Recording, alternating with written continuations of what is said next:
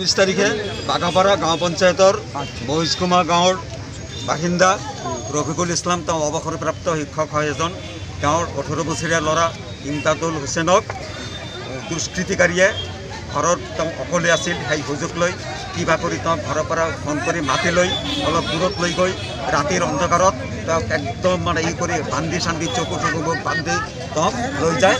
অপহৰণকাৰীয়ে তেওঁক লৈ যায়। লৈ যোৱাৰ পিছত পিছত শুনামতে পুলিচৰ পৰা শুনামতে তেওঁক মেঘালয়ত লৈ গৈ ৰাখে।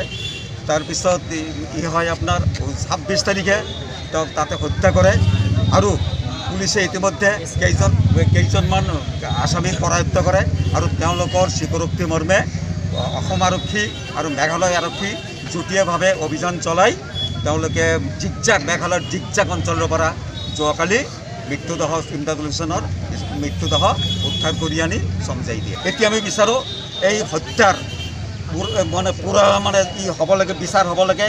ফাষ্ট ট্ৰেক আদালতত ইয়াৰ বিচাৰ হ'ব লাগে। হত্যাকাৰী যিসকল জড়িত আছে ষড়যন্ত্ৰত তেওঁলোকৰ মানে ফাঁচি হ'ব লাগে। আৰু